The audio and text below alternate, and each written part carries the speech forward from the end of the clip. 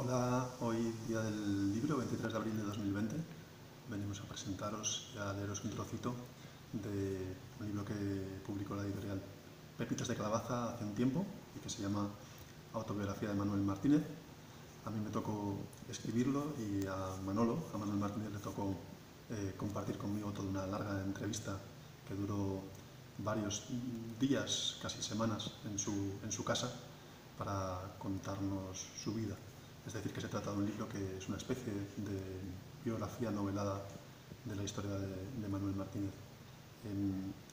el libro no pretende ser la historia épica de un héroe, sino la historia de un niño que nace en los años 50 en, Madrid y que mm, a lo largo de su peripecia vital en su infancia y en su adolescencia pues sufrirá todo lo que tiene que ver con el encierro en las instituciones totales, es decir, en los reformatorios, en el psiquiátrico y finalmente en el talego.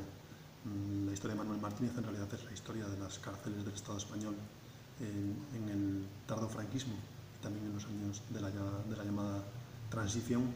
Em, y lo que hemos pretendido con, con el libro es narrar toda la historia de esa generación a través de la vida particular de Manuel, de Manolo.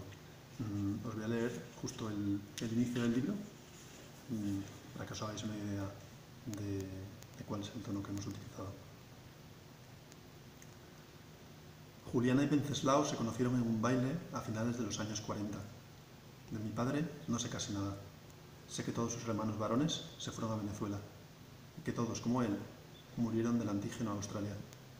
Recuerdo que mi abuela decía que a su hijo lo había matado el ejército al exponerle a largas marchas que debido a su enfermedad no podía sobrellevar.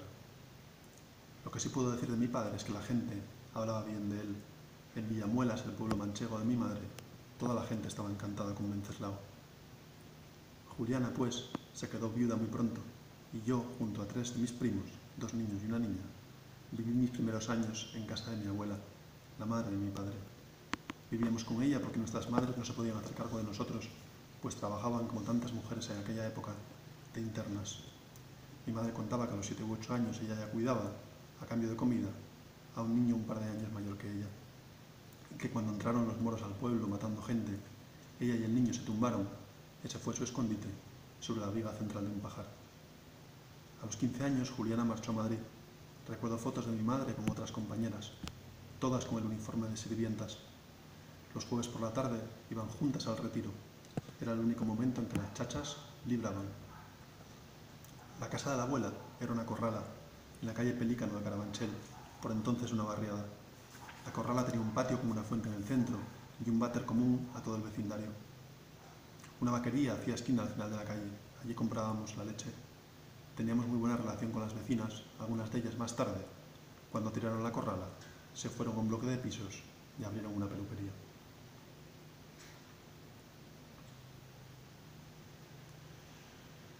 La verdad es que mi abuela Ana era muy rica, muy buena, siempre vigilante, atenta, sufriendo por nosotros. Cuatro primos, que éramos cuatro fieras. A veces mi madre aparecía de noche y yo ya estaba en la cama. Déjemelo despierto algún día para darle un beso al llegar, le decía a su suegra. ¿Qué va? Le duermo pronto porque es el que más guerra me da, respondía ella. La abuela tenía pánico a las tormentas, se metía en la cama conmigo, los dos debajo de la sábana y las mantas esperando que terminase. Yo era aún muy niño cuando empecé a guiarla al médico. Ella, por las cataratas, estaba ya casi ciega. No he dicho que en la casa vivía también mi abuelo, casi no me acuerdo de él. Yo tenía cuatro o cinco años cuando murió. Me subieron a la cama a darle un beso. La casa olía ese día fatal. Creo que murió de la misma enfermedad que mi padre y mis tíos, pero no sé con seguridad. Como mi abuela ya no podía hacerse cargo de nosotros, nos internaron. A mis dos primos los mandaron al colegio San Fernando, a la niña a un colegio de monjas, a mí a Tielmes, Viví allí hasta que cumplí siete años. De pronto se habían terminado el frío y el hambre.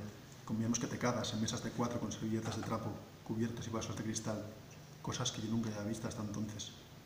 En cada habitación dormíamos unos 30 niños. Un celador estaba pendiente de nosotros por las noches y nos acompañaba al servicio. En verano nos hacían exámenes médicos para decidir si nos convenía más playa o montaña. Y nos llevaban a hacer Cedilla o Benicarló. En la playa ganamos un concurso por hacer un bonito castillo de arena. Yo, de todos modos, no me adapté a San Ildefonso. Me costaba estudiar, no paraba quieto.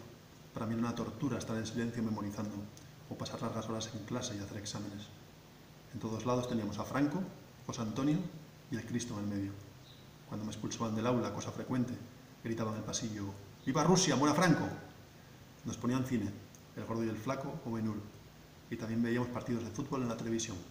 Había 99 niños del Real Madrid y yo, que era del Barcelona, por llevar la contraria. Siempre formé parte del coro, decían que cantaba bien, pero don Graciliano, el director, nunca se atrevió a llevarme el sorteo. Bueno, pues nada, espero que os haya gustado esta pequeña lectura y que mm, os animéis a leer el, el libro entero. Cuidaros, chao.